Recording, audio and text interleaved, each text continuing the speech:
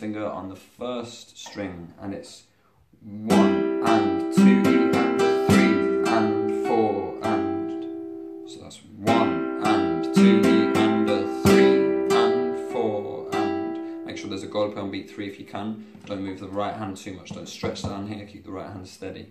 Um, digging into the fourth string with your ring finger there. One and two and three and four and one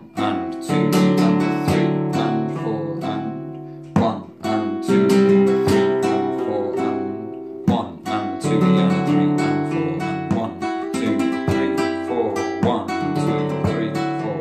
One, two, three, four. That's beat four down, your G minor. Okay, with the thumb, golpe with the middle. Four, one, and two, and a three, and a four. And so speed.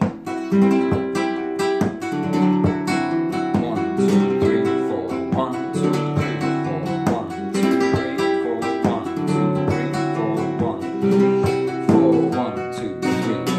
One and a two.